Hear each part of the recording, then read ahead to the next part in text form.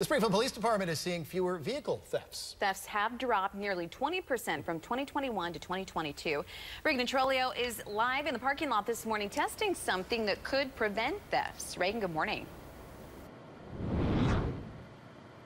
Hey, good morning, Chad and Jackie. Well, this right here is a wheel lock, and it's probably one of the best ways to prevent your car from being stolen. I mean, I'm just barely jiggling this lock right here, and you can see it stays sturdy.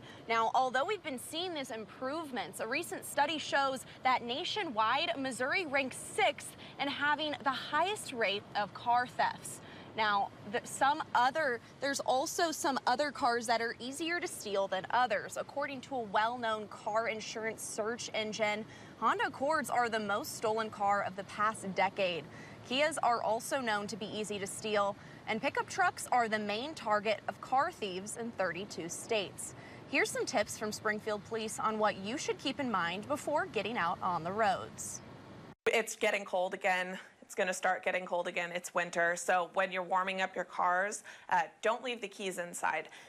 If uh, it kind of stinks, you know, in the morning it's really cold, you gotta have to go sit in your car while it warms up. If you don't have a remote start or a way to turn your car on and take the keys with you, just take that extra couple of minutes, sit in the car, have a hot cup of coffee while you're waiting on your car to warm up, and uh, reduce that risk. All it takes is five seconds for somebody to slip in your car while it's warming up.